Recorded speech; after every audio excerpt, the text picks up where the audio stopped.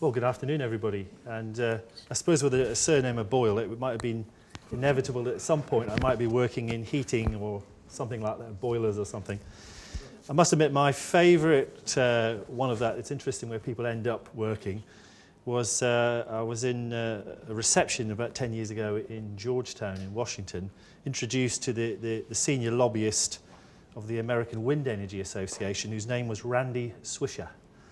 So obviously inevitable.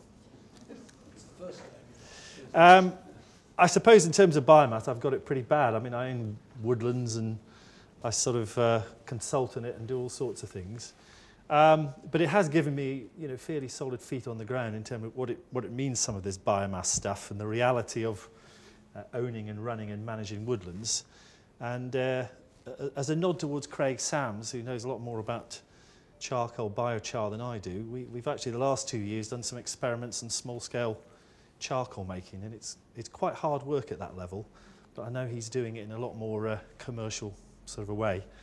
We do a lot of this stuff for a mixture of uh, wood fuel, biodiversity, we've got rare butterflies and so on, so it's quite an interesting balance, and some of those same issues that are coming up in the, the biomass debate, energy, foods, biodiversity, the very micro scale, we kind of deal with.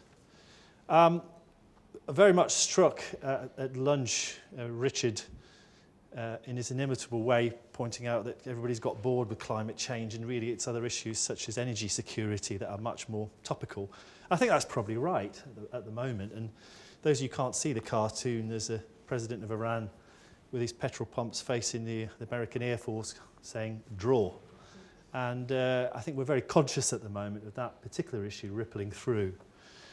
What I'm going to talk about very briefly and then hopefully hand over seamlessly to Peter is, I suppose, six good reasons why modern biomass is, is quite a good option at the moment if your objective is to reduce carbon, but also four issues you've got to be very careful with if you're not to end up with very poor energy systems, higher emissions and, and problems that lead to further global regional tension and disorder.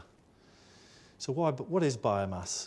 Well, it's like one of those scientific things um, everybody pretends to know, and they don't really. Uh, if you go to cocktail parties and you say you're in biomass, you don't get quite looked at as though you're an accountant these days. They sort of, it looks sort of greenish and okay, but nobody really has a clue what it is. And actually, it's, it's quite interesting because of the renewables, it's probably the most versatile uh, and flexible of the renewable sources because it covers any, any type of biomass you can think of, from chicken litter to trees. There's lots of biomass lining the walls of this room. And the important thing about it, why it's important in my view, is that in terms of the main end uses that we really need commercial energy for, heat, power, liquid transport fuels, and I would add chemicals, biomass can provide solutions to all of those. And that does give it a bit of an edge when you're looking at the sort of reductions that Jim was outlining there, quite draconian reductions. So the context there, and it's a brief snapshot, is that at the moment, um, of the, uh, of the 13% renewables recorded in commercial um, global energy use, um, a very big chunk of that, more than three quarters, is from bioenergy. And that's broken down, and the majority of that is woody biomass. Now, it's fair to say that a chunk of that woody biomass is not being used in a sustainable way. Possibly a third of that, we wouldn't regard that as sustainable. But the rest is. And so, important in the context that actually at the moment, um, biomass is actually providing more for the global energy consumption side of things than nuclear right now, despite 50 years of, of very extensive subsidies, Ian, and support. So what are the key drivers? Fossil fuel costs, clearly an issue, and the issue of imports and the security of supply. Uh, we're, the reason why the coalition government is still going down the route for doing a range of programs because we, we're signed up to an EU target, 15% renewables by 2020. So we're on track. We don't want to get fined. We don't want to not meet the target. Uh, and obviously, we've got long-term carbon reduction aspirations, 80% by 2050. Although something like that for a five-year government, it's kind of, it's never quite there, is it? It's always a little bit further away. Uh, local planning rules, still a lot of planning developments require 10-20% renewables, and that is driving local developments, and, and biomass does quite well on a number of those. And one thing I would stress, there's a number of government ministers like to talk about the green economy. Very few of them, I think, really know, know what that means. I would say that in the, the biomass sector, particularly woodland, forestry, etc., that's where you'll find some indication of what the real green economy is and what's emerging.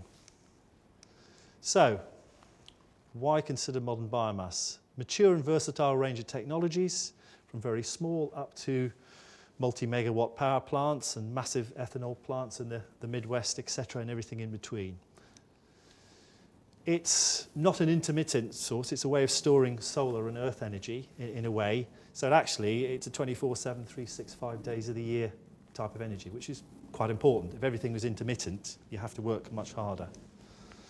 And it does integrate pretty well with fossil fuel um, systems at the moment. Um, there's quite a lot of fuel globally, uh, regionally, and also in the UK. We're not the most wooded country in Europe by any stretch, very clearly, and there's nobody trying to pretend you can run the whole of the UK on biomass, but you can get a decent proportion there, and I'll, I'll put some flesh on that. Um, and it is a genuine low carbon option, though you've got to be careful with liquid transport fuels. In certain scenarios, the the carbon reductions are not quite as attractive as, as people think. But in many of the other areas, you do get real carbon reductions. Uh, and cost effectiveness, Ian's talked about affordability. I would agree with you. I think uh, biomass can cover its backside pretty well on, on a number of the areas on affordability. Range, you know, there's an example of some of the boilers from room heaters all the way up to large steam and CHP and power plants. Um, lots of interesting technologies, a lot of which are now mature, very common across Europe, and a number of which are coming through still in the commercial demonstration uh, sort of phase at the moment. I'm not expecting you to read this. The point of this is, and it is confusing, but the point of it is that um, what it is showing you, there is a multitude of conversion options, whether it is straightforward combustion, fermentation, etc., which at the end of the day, under these processes, leads to useful energy for heat, power and liquid transport. And um, that, I think, is, is the key message to get over in this particular part of the presentation. It can actually do quite a lot. The technology is very interesting and it's well developed. Um, again, this is a busy one. The important part of there is there are a number of those technologies that are at the far end which are fully commercial. Um, there are a number of others that are early commercial and, and several that are in that basic and uh, demonstration sort of phase. But a range of technologies, and Peter, I know, is going to be talking about some of those technologies following me. Uh, the renewable heat side is beginning to take off big time. We've just had the renewable heat incentive brought in last year and on target for 90,000 biomass heating projects. We're behind the curve, I might say, on this one, but uh, things are picking up over recent months. Reason two, it's not dependent on intermittent energy. Uh, I'm amazed the number of people that keep writing the paper and saying, wind doesn't blow all the time, you know, as though, you know, this is the first time anybody's kind of cottoned onto that one. And, and obviously there are a lot of people who work the grid who are quite used to intermittent and actually quite clever and know how to predict and plan and so on. But I would accept that it does cost a bit more to manage. So biomass, you, you don't really have that sort of problem because it's predictable. Um, for well-designed systems, you can go 100% with biomass. But in many instances, going for 20, 70, 80% is often much more cost effective. It does integrate well with fossil fuel systems and the existing heating and grid vehicle systems. So base load, yeah, biomass is pretty good. Use fossil fuel more expensive as a backup and a top up for peak. If you want to use it as the main source, then fossil fuels, again, can integrate that well. It can also feed into existing heating systems like here. You'd be struggling to put ground source heat pumps in here because of the size of the, uh, the radiators and so on, the fact that it hasn't got underfloor heating. But with biomass, you can do that. Power plants clearly integrate into the grid, and biomass has a role there. CHP systems, again, self-supply or into the grid and heat network. And liquid fuels, obviously blending 10, 15% is common in the States, and there's a whole load of issues on there on is that really sustainable and the level of subsidies, and I would share some of those concerns. Quite a lot of fuel available. Um, depending on the, the assessments, 25 to 100% of existing energy demand globally is available from biomass. Lots and lots of assumptions in there. We could have a whole CBD on what the real numbers are. Europe, very conservative assumptions about 25% total energy demand could come from a range of biomass sources and technologies. In the UK, a bit more modest. I've put very conservatively around about 10% of our heating, perhaps 5% of our transport, and around about 10% of our power from a range of um, biomass resources.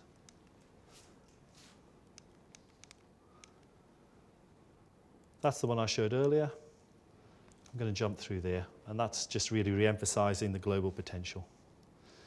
Into the UK, that's where it's split at the moment, and, and Peter will be picking up a couple of the sectors in here in terms of how we use biomass at the moment, which is quite a wide range, as you can see. The trajectory at the moment is to triple that by 2020 and then extend sort of beyond that point.